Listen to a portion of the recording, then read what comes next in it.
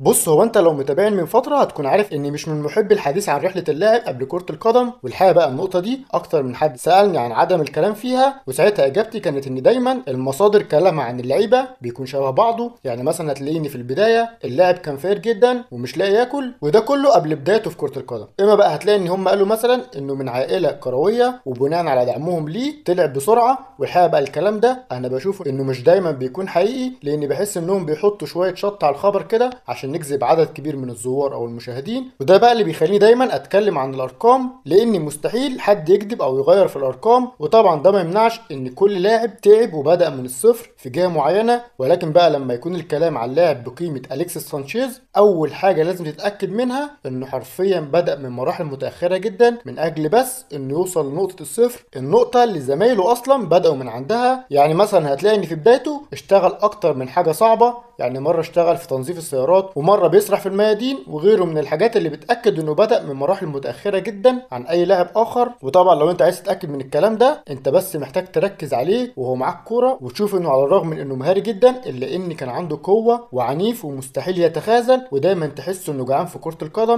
عشان كده بقى وبدون تمهيدات إحنا النهارده جايين نتكلم عن أفضل لاعب في تاريخ تشيلي. وفي وجهة نظري الشخصية هو واحد من أفضل اللعيبة اللي جت في تاريخ كرة القدم وهو السفاح التشيلي أليكسيس سانشيز. أليكسيس سانشيز بقى كان من مواليد تشيلي سنة 88 بدايته بقى كانت في فريق الجامعة الكاثوليكية سنة 99 وبعدها بسنتين فقط ينتقل لمدرسة برناردو أوهيجينز وبعدها بثلاث سنين وتحديدا في سنة 2003 تم رصده من أحد كشافين نادي كوبريلوا النادي اللي فعلا أليكسيس انضم لناشئينه وبعد ما النادي اكتشف موهبته بشكل كامل يتخذ قرار تصعيده للفريق الأول وفعلا موسم 2005 2006 يكون الأول لهم على الفريق الأول. الموسم اللي هو فيه شارك في 47 مباراة سجل فيهم 12 هدف والنتيجة للكلام ده بقى تكون واحد من كشافين نادي أودينيزي الإيطالي يتعرف عليه وعلى موهبته وبعدها عرضوا على الإدارة. الإدارة اللي بدون نقاش وافقت على شراء اللاعب بمبلغ وصل ل 3 مليون يورو ولكن بما ان سانشيز كان لا يتجاوز 16 سنة فلا يحق له الاحتراف الخارجي حتى يتجاوز السن القانوني واللي هو 18 سنة. والنتيجة بقى إن الصفقة تتم ولكن اللاعب يخرج اعاره لنادي كولو كولو ويقضي معاهم موسم ونص بالمشاركة في إجمالي 32 مباراة سجل فيهم خمس أهداف وبيهم يساعد فريقه بالفوز بالدوري مرتين. وبعيدا بقى عن كل ده فأداء سانشيز ساعتها كان بيأكد إنه مش بس لاعب موهبة لأ ده كمان كان مجتهد جدا. والنتيجة بقى إن يجي له استدعاء للمنتخب. في كأس العالم تحت 20 سنة البطولة اللي تسجيله فيها هدف وصناعة الثاني في الفوز على الكونغو يخلوه واحد من أهم أسباب وصول المنتخب للمركز الثالث وساعتها بقى على الرغم من إنه كان وصل للسن القانوني إلا إن إدارة اودونيزي كانت شايفة إنه محتاج لخبرات والنتيجة بقى تكون خروجه اعاره لنادي ريفر بليت النادي اللي هو قضى معاه موسم 2007 2008 بالمشاركه في 32 مباراة سجل فيهم أربع أهداف وصنع زيهم وبيهم برضه ساعد الفريق للفوز بالدوري وبعدها بقى ومع نهاية الموسم إدارة اودونيزي اتأكدت إن اللاعب قادر على اللعب في الدوري الإيطالي وساعتها بقى يطلبوا اللاعب وفعلا موسم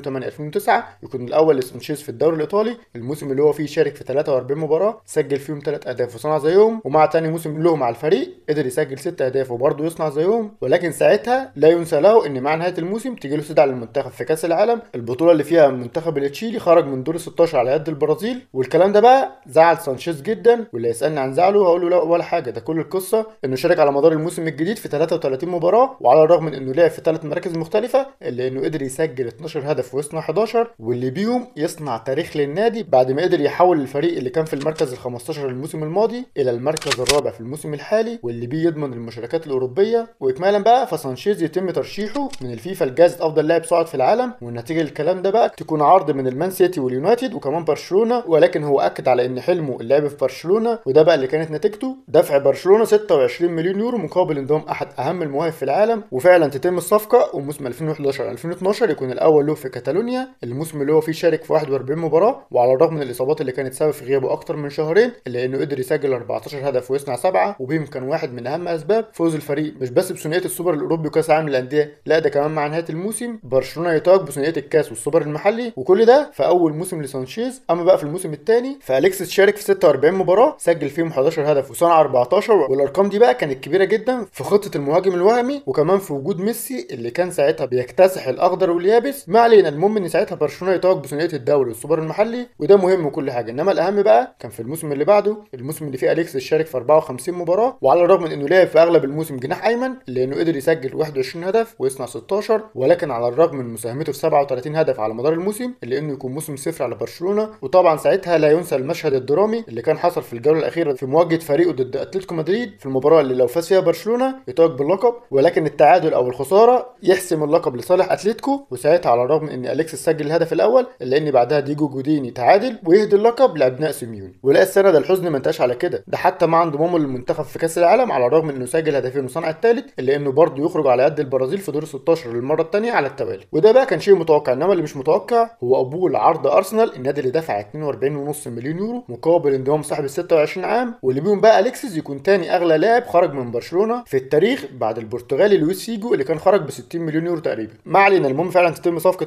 انتقال سانشيز لأرسنال وموسم 2014 2015 يكون الأول له مع ال Gunners. الموسم اللي هو فيه شارك في 52 مباراة وعلى الرغم من اختلاف الأساليب في الدوريين إلا إنه قدر يسجل 25 هدف ويصنع 12 وبيهم مش بس يكون سبب في فوز الفريق بالسوبر المحلي لا ده كمان تسجيله هدف وصناعه الثاني ضد أستون فيلا في نهائي ال FA Cup يأكد على تتويج الأرسنال بالبطولة اللي هو مش بس كان تاني هدافها لا ده كمان يكون أفضل لاعب فيها باختيار الجماهير ولا استنى ده بعدها بقى ومع نهاية الموسم سانشيز يكون لاعب الموسم في الفريق وكمان يدخل التشكيل المثالي للدوري من الجهتين الاتحاد الانجليزي واتحاد المشجعين ولا استنى ده. مع نهايه الموسم بقى تيجي له استدعاء للمنتخب في كوبا أمريكا البطولة اللي تسجيله فيها هدف وصناعه الثاني تخليه واحد من أهم أسباب وصول المنتخب لمواجهة الأرجنتين. في النهائي اللي كنا اتكلمنا عنه بشكل أدق في حلقة باستوري وتيفيس هتلاقيهم في القناة. ولكن المضمون بقى هو إن بعد المباراة ما استمرت على التعادل لحد الوصول لركلات الترجيح المنتخب الأرجنتيني بالكامل يضيع ركلاته باستثناء ميسي عشان يدخل بعدها بطل حلقتنا بالبانينكا يسجل ركلة التتويج باللقب الأول في تاريخ تشيلي وكل ده على يد سانشيز اللاعب اللي بعد انضمامه للتشكيل المثالي في البطولة يكتمل له أعظم موسم على مدار مسيرته. عشان بقى بعد العظمة دي أليكسيس يقضي الموسم الجديد مع أرسنال بالمشاركة في 41 مباراة يسجل فيهم 17 هدف ويصنع 11 وبيهم مش بس يكون سبب في وصول الفريق لوصافة الدوري لا ده كمان ساعتها يفوز بالسوبر المحلي بعد الفوز على تشيلسي بهدف تشامبرلين وده مهم وكل حاجة. ولكن الأهم بقى هو ان على الرغم من خروج الأرسنال من دور 16 في دوري الأبطال إلا إن صناعة سانشيز خمس أهداف تخليه الاكثر صناعه للاهداف في البطولة ولا استنى ده القصة ما على كده لأن بعدها تجيله استدعاء للمنتخب في كوبا أمريكا البطولة اللي تسجيله فيها ثلاث أهداف وصناعته اثنين تخليه واحد من أهم أسباب وصول المنتخب لمواجهة الأرجنتين. في النهائي اللي برضه كنا اتكلمنا عنه بشكل أدق في حلقه أرتورو فيدال هتلاقيها في القناة ولكن المضمون هو إن برضه المباراة تستمر على التعادل لحد الوصول لركلات الترجيح وساعتها بقى الحظ يبتسم لتشيلي ويتوج بالبطولة الثانية على التوالي بنفس الشكل. وكل ده على يد سانشيز. اللاعب اللي المرة دي مش بس ينضم للتشكيل المثالي لا ده كمان يتوج كافضل لاعب في البطولة. وده بقى اللي بيه يكتمل موسم عظيم آخر على سانشيز. اللاعب اللي في الموسم الجديد قرر ينفجر حرفيا لدرجة إنه شارك في 51 مباراة وعلى الرغم من إنه لعب في خمس مراكز مختلفة إلا إنه تجبر وقدر يسجل 30 هدف ويصنع 18 أيوه زي ما سمعت كده ساهم في تسجيل 48 هدف 51 مباراة. وبيهم بقى يلعب دور أساسي في تتويج الفريق بال FA Cup بعد الفوز على تشيلسي في النهائي بثنائية. كان ليه منهم هدف وساعتها مع نهاية الموسم بقى يتم اختياره كأفضل لاعب في الفريق. وعشان تكمل بقى برضه تجيله استدعاء للمنتخب في كأس القارات. البطولة اللي فيها تسجيله هدف ضد ألمانيا وصناعة الثاني ضد الكاميرون يخلوه واحد من أهم أسباب وصول الفريق لمواجهة المنتخب الألماني في النهائي تفوق فيه الالمان على سانشيز ورفاقه وساعتها بقى سانشيز يكون تاني أفضل لاعب في البطولة بعد الألماني دراكسلر. وده بقى اللي بيه تكتمل أحد أفضل الفترات على سانشيز اللاعب اللي بدأ الموسم الجديد باداء أضعف من الأول وده كان سببه إنه كان عايز يسيب النادي لأجل إنه يشارك في دوري الأبطال. وده بقى اللي صح إدارة المان يونايتد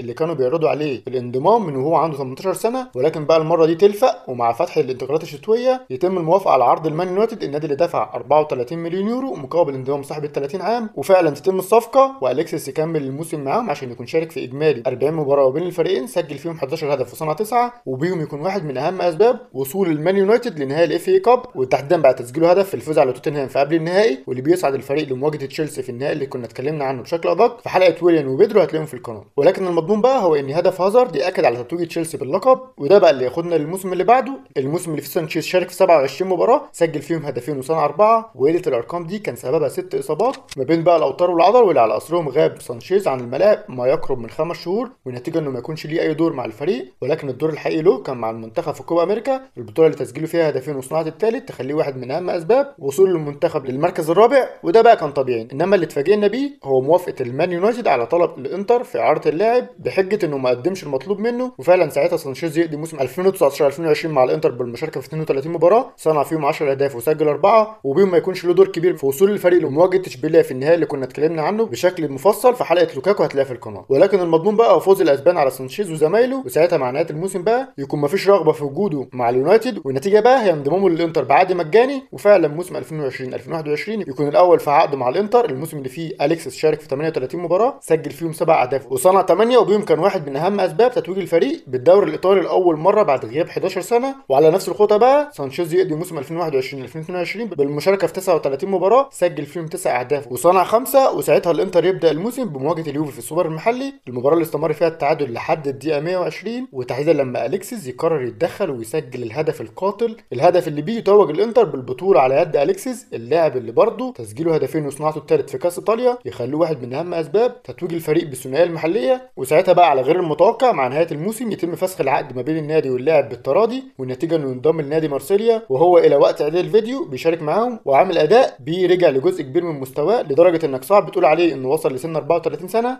وتاكيدا بقى على الكلام فهو مسجل سبع أهداف في 17 مباراة ولكن ايا كان اللي هيعمله أعتقد إن ليس في الإمكان أكثر من مكان وده بقى اللي ياخدنا لأرقامه اللي هتكون إلى وقت اعداد الفيديو واللي هو فيها شارك مع الأندية في أكتر من 641 مباراة سجل فيهم أكتر من 187 هدف وصنع برضه أكتر من 142 وفاز فيهم بقى مع برشلونة بالسوبر المحلي مرتين والدوري والكأس المحلي بالإضافة للسوبر الأوروبي وكأس العالم للأندية مره لكل بطولة وده مع برشلونة. أما بقى مع أرسنال فهو فاز بكأس الاتحاد والسوبر المحلي مرتين لكل بطولة ومع الإنتر بقى فهو فاز بالدوري والكأس والسوبر المحلي مره لكل بطوله وطبعا كل الكلام ده بالإضافة لفوزه بالدوري في تشيلي مرتين وفي الأرجنتين مرة وحيدة وده مع الأندية. أما بقى لو رحنا لمشاركاته مع المنتخب واللي تتمثل في المشاركة في 151 مباراة سجل فيهم 50 هدف وصنع 41 وفاز معاهم بكوبا أمريكا المرتين الوحيدين في تاريخ المنتخب بالإضافة لوصوله لوصافة كأس القارات. وطبعا كل الكلام ده ما ينفعش ينسينا إنجازاته الفردية. الإنجازات اللي بيها يستحق يكون واحد من أفضل اللعيبة اللي جت في تاريخ تشيلي اللي لم يكن أفضلهم. وبس يا سيدي وبكده نكون وصلنا لنهاية الفيديو. طبعا لو عجبك الفيديو ما تنساش تعمل لايك وتقول لنا بقى تحب نتكلم عن مين الفيديو الجاي؟ سلام.